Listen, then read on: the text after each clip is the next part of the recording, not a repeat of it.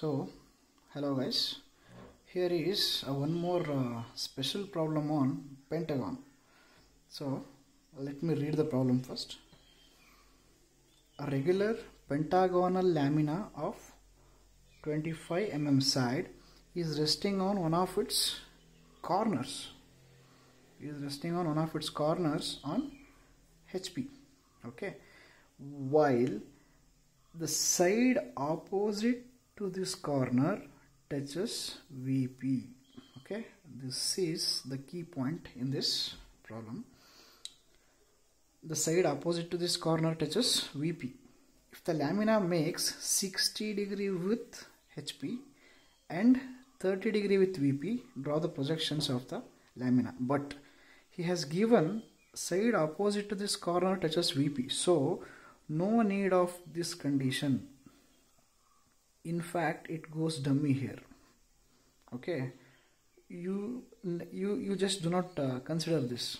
Since we already have a conditions saying side opposite to this corner touches vp you consider this condition and this 60 degree with hp you can simply ignore this condition. It will be automatically satisfied if we satisfy this particular condition. Okay? So the first thing we have to do is to draw xy line and marking vp and hp that is already been done. So first the regular pentagon lamina of 25 mm sides is resting on one of its corners. So the corner should come towards my left. So if the corner is coming towards my left means i should get the side towards my right. So that is 25 so exactly 2.5 boxes in your grid books 25 mm 25 mm line. Okay and then in your uh, compass in your compass okay fine. Take your protractor and uh, measure for the angle. What is the angle? 72 no in pentagon. So exactly it's 72 mark a line in both the sides 72 as well 72 and draw two thin infinite lines. The line should be thin. Okay now take your compass and the dimension as you know it is 2.5 right? 25 so on these thin lines cut an arc of 2.5 and 2.5 okay? So we got three sides. Using this point we can cut one more arc here. And here using this one more we will get the intersection. So we got the complete pentagon right? So join here. Join this. And increase the thickness of complete pentagonal portion right. So now we have to name this now so this will be my a b c d and e. So we got the first view. Next we have to get its front view. For that we have to just project it. We just have to project it forward sorry upward. So once I project it upward this B and E will get it in a single line and D and C in a single line. And you can just increase the thickness of this particular portion. Okay. So now see here I can completely see A. So this will be my A dash. This I can see only B. I cannot see E. The E will be hidden because of B so B dash outside the bracket and E dash inside the bracket. Similarly here I can see C. So C dash outside the bracket and D will be hidden because of C. So this would be inside the bracket. Okay. So this is my second view. Next. HP okay. Lamina makes an angle of 60 degree with HP so that means the inclination with respect to HP can be seen in VP so take the protractor and measure for 60 degree. Measure for 60 degree. I'll get 60 here. Okay. So now draw one thin line for it. Draw one thin line for it. And this is a 60 degree line now take your uh, compass measure a dash to b dash e dash first and cut the arc here. And next measure b dash e dash to c dash d dash. From here cut one more arc and you can just increase the thickness of this section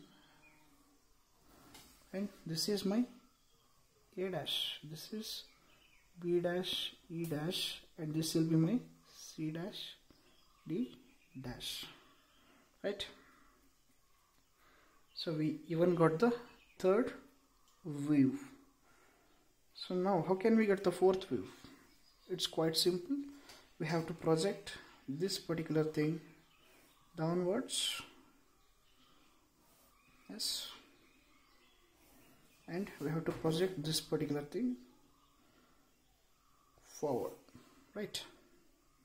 Project it forward. Make sure that all the projection lines are thin. Right. So once you are done with the projections search for the common points. See a is here and a is here. So this will be my a b and b. So this will be my b c and c this will be my c d and d this will be my d e and e so this will be my e so join all the points now. A to b b to c c to d d to e at last e to a right? So we even got the fourth view so now what is the next inclination? So he's telling it is 30 degree with HP but at the same time he has given one more condition. Side opposite to this corner touches VP so in this special problem let us not consider this 30 degree with VP let us straight away go with this. Straight opposite to this corner touches VP so which is the side which is opposite to the corner? C here. A is the corner on which it is resting on HP so the side opposite to this corner A is DC so now it should touch VP means the side DC should touch XY line. But not from this diagram. We have to consider this so this DC should touch the XY line. So if we uh, satisfy that condition even this 30 degree with VP condition will also be satisfied. So now what I'll do is I'll just mark D here. I'll just mark D here and I'll take the compass. I'll measure this DC I'll measure this DC and I'll cut on arc. So this will be my C right? Now keeping DC as two points I'll cut for all other points now. So now D to E I'll measure first. D to E so D to E I'll cut the arc here. Fine. So next C to E I'll measure. C to E right? C to E and keeping it on C I'll cut one more arc. So I'll get this as E right? Next I'll go for B. First D to B I'll measure. So D to B. So D to B. And next C to B I'll measure C to B so C to C to B so D to B I'll consider one more type since I'm not getting any intersection.